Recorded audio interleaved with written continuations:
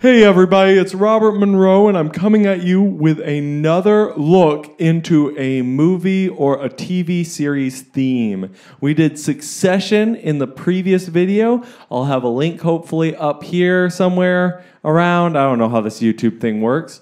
But today we're going to talk about another crazy theme, and that is from X Files. Now, why do I make these videos? Well, the answer is simple. I want to fulfill that basic YouTube effect that everybody wants, which is having information that makes you feel smarter than everybody else. Let's be honest. That's why people watch YouTube. So, without further ado, let's get into this good old theme. This is the X Files theme. Sounds something like this.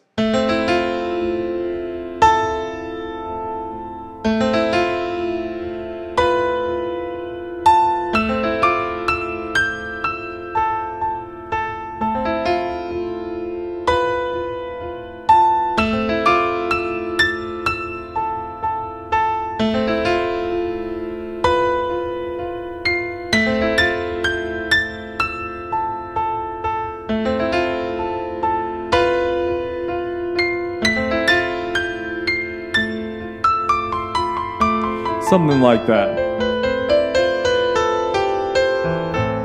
So let's talk about a few different elements that make that sound so distinctive.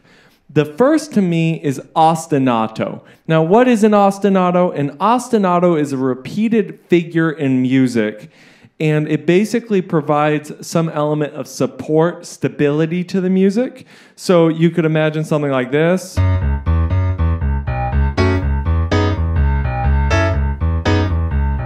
This bass line is an ostinato.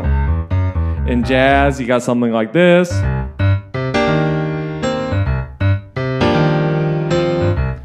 So it's all over the place. It can stay in one place, it can move keys, but it's it effectively has to be the same pattern of notes over and over and over and over again.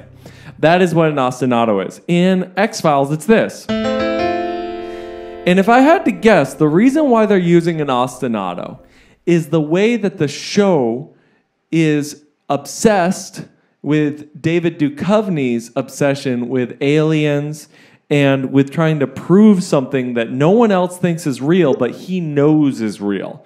And so it has this melancholy, has this passion, has this stick to itiveness, basically, this con- constant reminding of what the show really is about, even though, you know, they're solving this case over there, they're solving that case over there. It's about aliens. So that's what we got going on there. Now, there's something more that I want to point out about this, and that's this interval relationship here. So the first thing we have is in minor chord. Nothing that strange there. In fact, we had one at the beginning of Succession, right? Um, that's in a different key, but you get the idea. So, but there's something interesting about this minor chord. We have this F right here. Now, you might be tempted to call, oh, it's an A minor flat six. Well, that chord doesn't really exist. Because when you see that, you think actually this F major seven. So it'd be F major seven in first inversion, meaning it's flipped around once. But you can immediately hear how that doesn't work.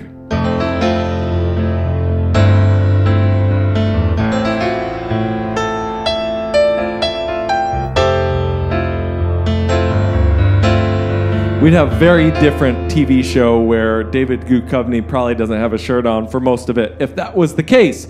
But that is not what we have. We have an A minor chord, and I would either call this a flat 13 because of the element of the melody having a seventh, but that's getting super technical. So I would actually prefer to just call this a non-chord tone.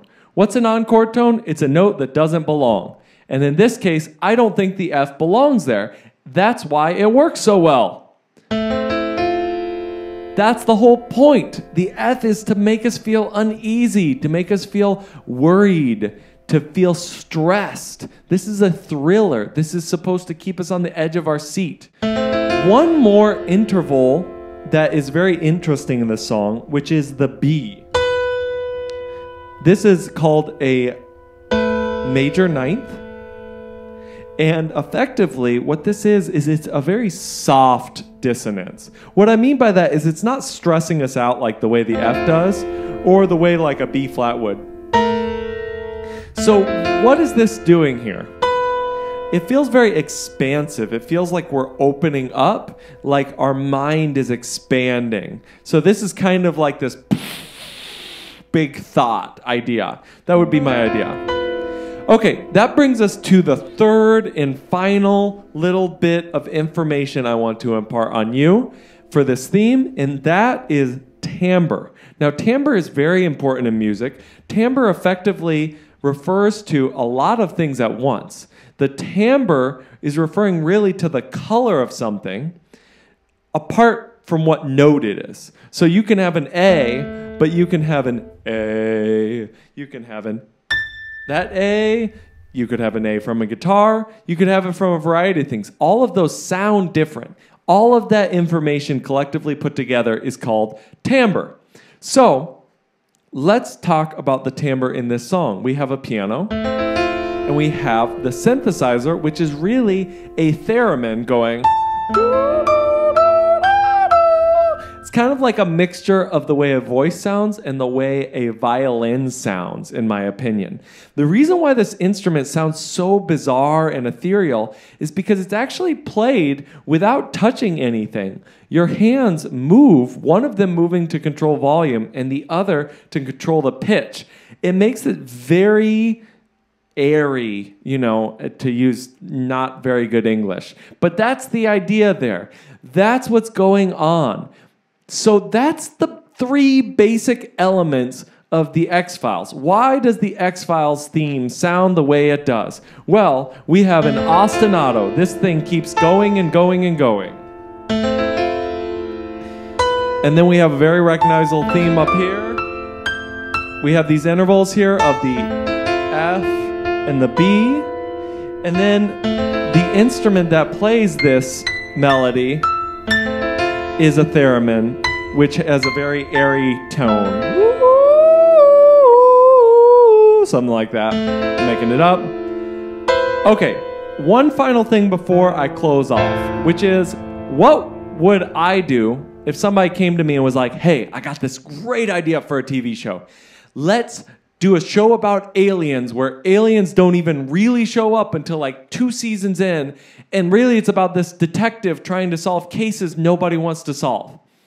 I'd go, okay, here's the theme for you. Let's start out with an ostinato. Let's start out with something a little foreboding, a little mysterious, but also interesting.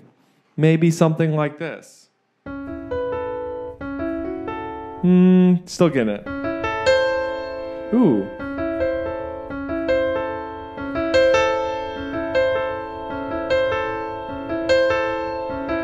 That could work. So we got this theme. It's a little creepy because of this interval here. This is a major seventh. It's a little more intense of an interval than that this one here, but it works. Okay, so we got that going. Now we need another timbre, another instrument bringing in something. I'm going to go the opposite way. I'm going to go with a bass, probably maybe like a bassoon or something.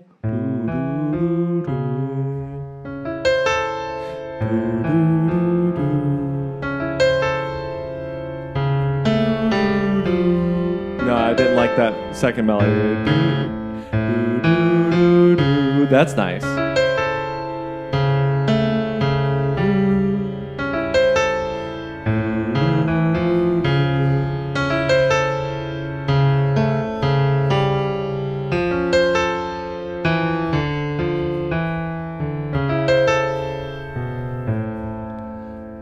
You get the idea. Not the most amazing work, but again, I'm doing this on the spot. I'm trying to show you the type of thinking you would do if you were trying to compose something like the X Files theme on the spot. Well, this has been a whirlwind of a video. I've got kids upstairs that are being crazy. I need to get going, but I wanted to just give you a little look into the X Files theme. If you enjoyed it, please like this video, comment on it, tell me what other themes you would like to hear about video games, music, well, we're doing music, but video games, movies, TV shows, whatever, and subscribe. This really, really, really does help. It helps motivate me to make more of these, which I love to do. And until next time, stay creepy.